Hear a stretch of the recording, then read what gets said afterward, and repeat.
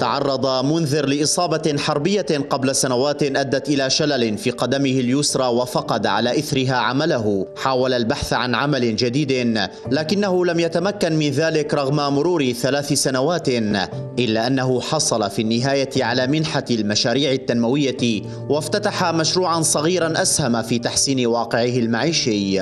فترة بقلب على اليوتيوب شفت آه، مراحل تصنيع لمراجيح أطفال.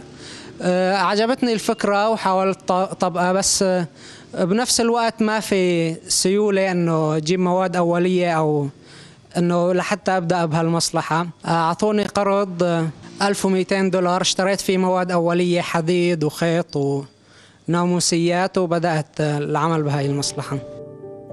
تعمل منظمات المجتمع المدني في شمال سوريا على إطلاق مشاريع تنموية تهدف لمحاربة الفقر من جهة وتوفير عمل للأسر النازحة بعد أن أثقلت تكاليف المعيشة كاهلهم.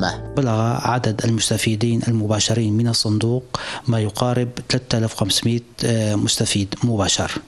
بقيمة التوبيل الإجمالية آه، تقدر حوالي 3 ملايين و600 ألف دولار حيث يعتبر برنامج تمويل الأصغر من أهم الطرق في مكافحة الفقر.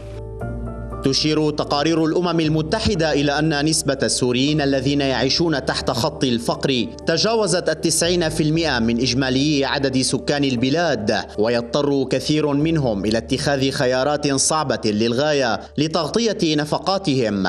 ولا تقتصر معاناتهم على الفقر المتزايد وأزمة المياه وتدهور الأمن الغذائي بل يواجهون خطر انتشار الأمراض والأوبئة. رغم تعدد مبادرات المشاريع التنموية للنازحين يرى مراقبون أن احتياجات الناس هنا أكبر بكثير مما تبذله المنظمات في سبيل ذلك بسبب اتساع دائرة الفقر والبطالة وغلاء الأسعار. يمان السيد الحرة محافظة إدلب.